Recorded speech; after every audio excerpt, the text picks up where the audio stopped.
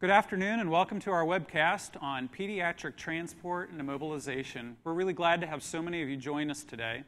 My name is Jerry Sosha, Director of Marketing for Ferno, and we're broadcasting to you live from the Ferno Experience Center. The Experience Center is a simulation environment where we can recreate many of the scenarios that you face every day out in the field. We have a full size ambulance box, roadway, stairways, and many other platforms that allow us to recreate these situations. If you'd like to come and see for yourself, contact your local Ferno sales representative and we'll be happy to bring you out. Now, before we get started, I have a few items of business to take care of. Uh, our session is going to last about 20 to 25 minutes today. You can see and hear us, but we can't see or hear you. So please use the chat feature in the lower right hand portion of your screen to send your questions in, and we'll answer those questions toward the end of our broadcast. My guest today is Jim West, product manager. Jim, how you doing? Good, Jerry. How are you? Doing good. Glad you could join us today. Jim, we get a lot of questions on pediatric patient handling. And before we get started looking at equipment, I thought you could give us a little bit of a framework and understanding for some of the research and studies that are out there on this topic. Right.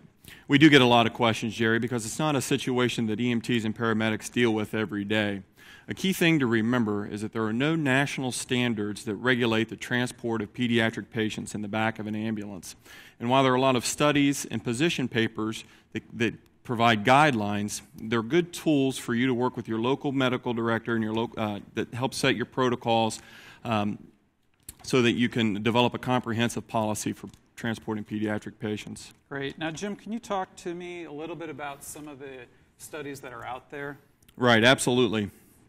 Uh, the, the first that you'll see is the crash protection for children in ambulances. That, that was a pretty much a groundbreaking study that really was the first or one of the first to take a comprehensive look about protecting children in the back of an ambulance. And while some of the, uh, the equipment has evolved since that, that study has come out, there are a lot of, uh, there's a lot of useful information and a lot of things that you can use there to help develop your protocols. Uh, the second study is from the Association of Air Medical Services, and that's actually uh, not a study but more of a recommended practice. There's a really a lot of good information in there about setting, uh, transporting children in certain, certain and different scenarios, um, and it is designed for ground ambulances as well. And as you know, uh, NHTSA, they set uh, car seat standards in FMVSS 213, and that also uh, helps uh, set standards for transportation of pediatric patients in automobiles and light trucks. But in 2010, NHTSA kind of realized there, was, uh, there, there may be some area for improvement and uh, further refinement there, so they put together a working group. And from that, they, uh, they developed five scenarios. Great. Now, I do want to let everyone in our audience know that we will be sending you an email after this session with links to these studies. But, Jim, could we focus again for a minute on the 2010 NHTSA working group? I understand coming from that, they had identified five situational categories for pediatric transport. Can you walk us through these? Absolutely. The first scenario is for a child who is not injured or not ill and needs to be transported. The second is a child who is ill or injured and whose condition uh, does not require continuous or intensive medical care monitoring. The third is a child whose, uh, whose condition does require monitoring and um, intervention. The fourth is for a child who requires spinal immobilization. And the fifth is for a child who is uh, transported as part of a multiple casualty uh, situation, such as there's an accident, the mother's injured, and the child needs to be transported with the mother. Great. Jim, that's a really great framework for our conversation today. Uh, I was hoping you could answer one more question for our audience as we look at what is the definition of a pediatric patient? How do we define that? Is that based on weight? Is that based on size? Uh, we define it by weight. Uh, so 0 to 20 will be an infant, uh, 20 to 40 would be a toddler, and 40 to 100 would be a child. Great.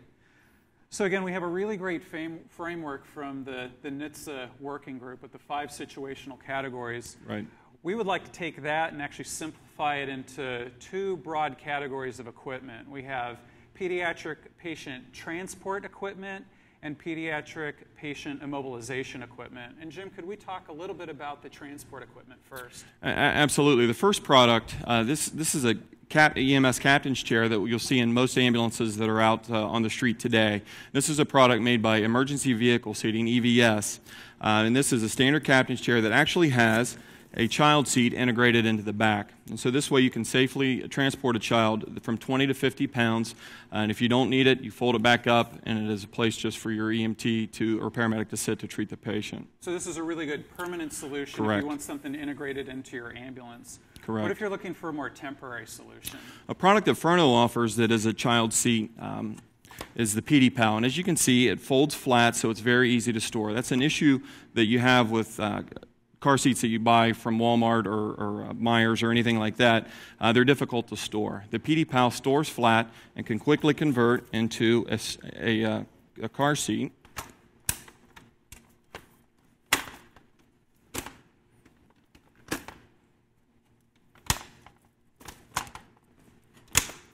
And this can go onto a captain's chair, it can go onto an ambulance cot, and it can actually even go into a vehicle rear or forward facing. It can accommodate uh, children from 0 to 20 pounds rear facing, 21 to 40 forward facing, and it meets FMVSS 213 as a car seat. Great. So again, a, a good permanent solution integrated into your ambulance, a temporary solution.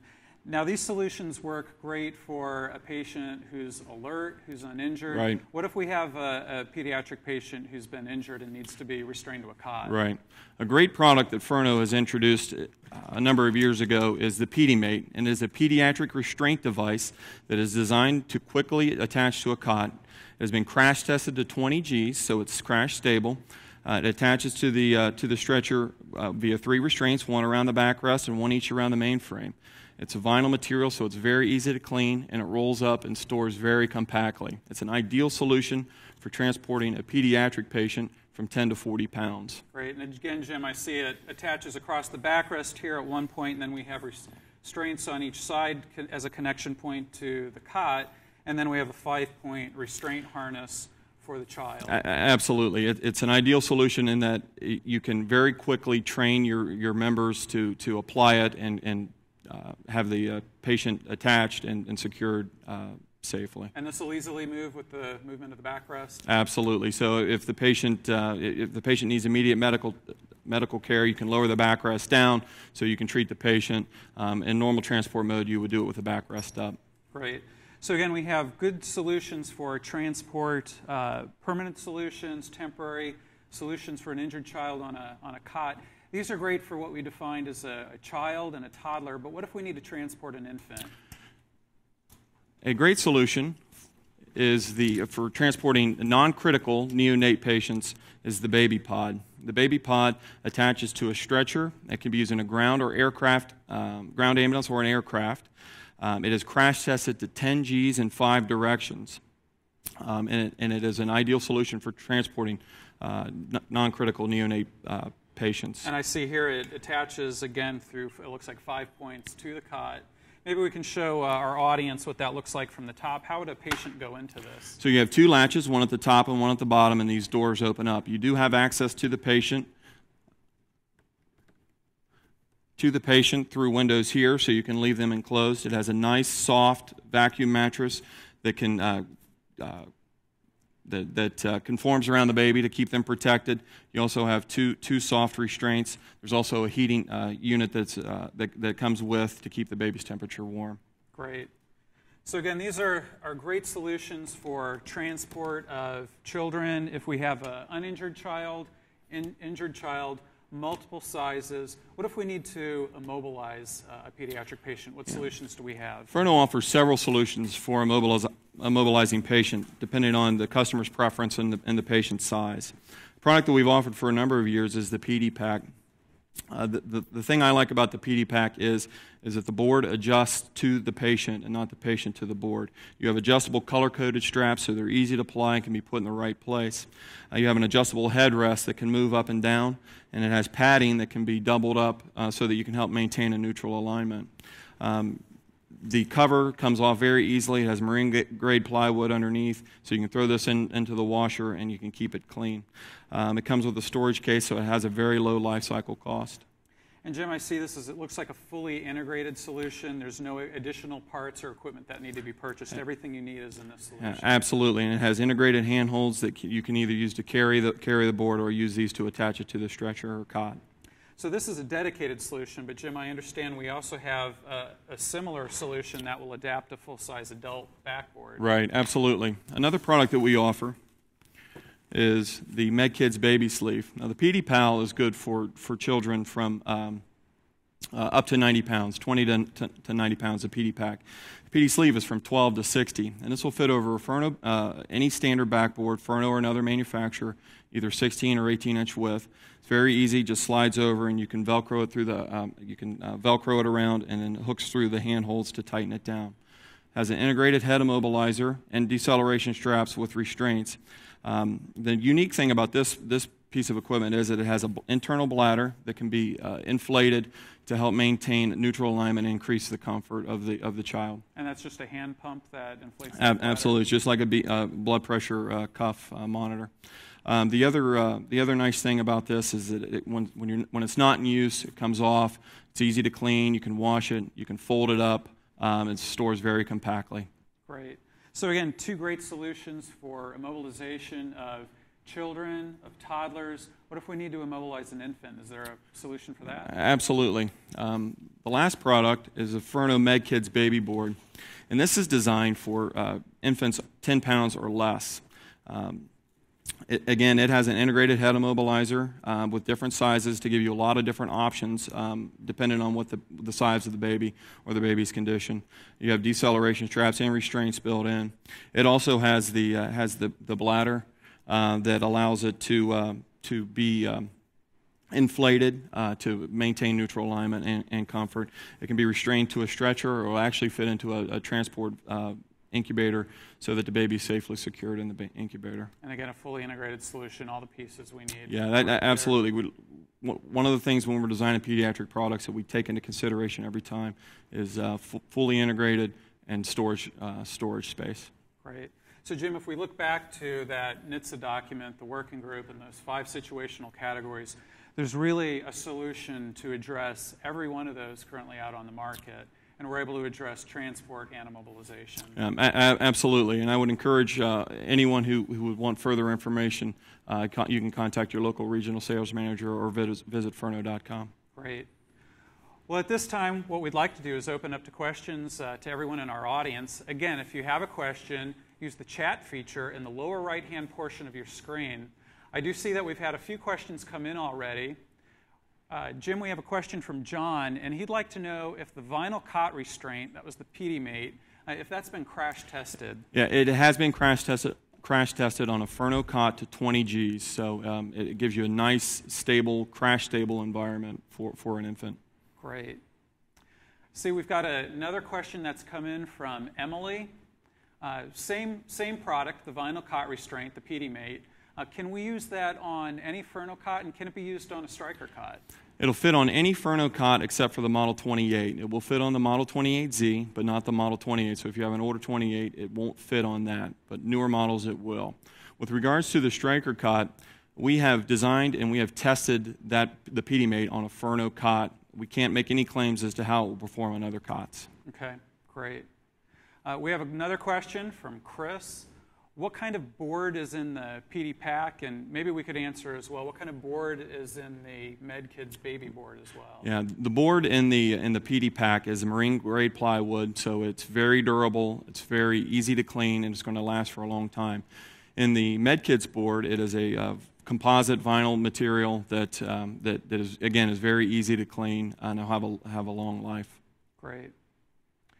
Well, I don't see any other questions at this time. If we did not get your to your questions, or if you have more questions you'd like to send in to us, we'll be sure to get to those uh, later. Uh, we'll send you a response within 24 hours.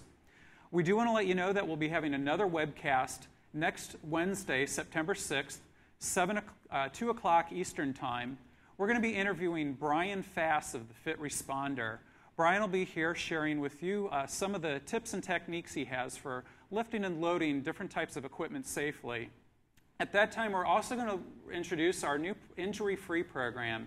Injury free is a training program that will be available through iTunes and through Android Marketplace. And for EMS, gives you training on safe lifting practice, ergonomics, nutrition, health and wellness, and a variety of other topics. So please join us for that webcast, and we'll be sending an email reminder out as well. Uh, actually, I do see we had one more question come in. We'll go ahead and take that. Uh, Jim, uh, we have a question here. Uh, what is the weight limit on the PediPal? The PediPal is designed for uh, children 10 to 20 pounds rear facing, 21 to 40 pounds forward facing, so up to 40 pounds. Great. And it looks like uh, one more question coming in. And give us just a minute here. Ideas for a 30 pound child, no muscle tone, supine patient. Um, that's a tough one. Um, you, you have a variety of different solutions as long as they don't need, you know, spinal immobilization. Um, you could probably use the PediMate. Um, if they needed to be immobilized, I would use probably the, uh, the PediPal, or the, I'm sorry, the PD pack, so you can, you can lay them down on a, on, on a board.